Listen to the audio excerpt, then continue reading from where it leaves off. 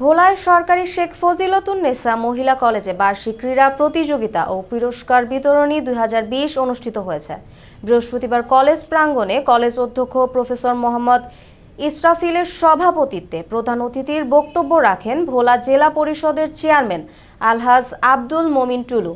ভোলা প্রতিনিধি ইমতিয়াজুর রহমান জানান, অনুষ্ঠানে বিশেষ অতিথি ছিলেন ভোলা সরকারি কলেজ অধ্যক্ষ প্রফেসর মোহাম্মদ গোলাম জাকারিয়া সাবেক অধ্যক্ষ প্রফেসর মোহাম্মদ নাসির আহমেদ ও সরকারি শেখ ফজিলতুন্নেসা মহিলা কলেজ সাবেক অধ্যক্ষ প্রফেসর দুলাল চন্দ্র ঘোষ ও সাবেক অধ্যক্ষ প্রফেসর মোহাম্মদ রুহুল আমিন। এ সময় বক্তারা সকল শিক্ষার্থীদের উদ্দেশ্যে বলেন, পড়াশোনার পাশাপাশি খেলাধুলা ও সাংস্কৃতিক চর্চার মাধ্যমে প্রকৃত মানুষ হওয়ার পথ বিকশিত করে। তাই সকলে পড়াশোনার পাশাপাশি খেলাধুলায় মনোনিবেশ করতে হবে। তাহলেই সমাজের সকল খারাপ কাজ থেকে বিরত থেকে মেধা ও মনন বিকশিত হবে।